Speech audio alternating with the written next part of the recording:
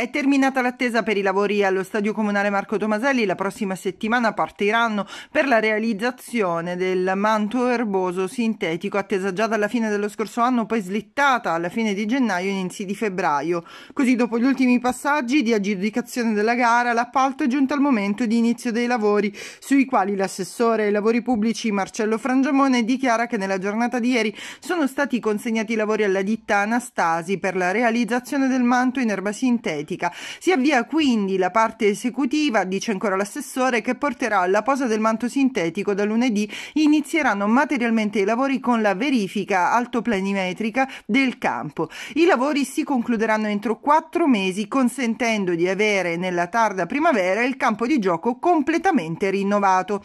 Con questo intervento di rifacimento migliorerà il campo con manto e permetterà agli atleti di sfruttare al massimo l'impianto sia per il calcio calcio che per il rugby.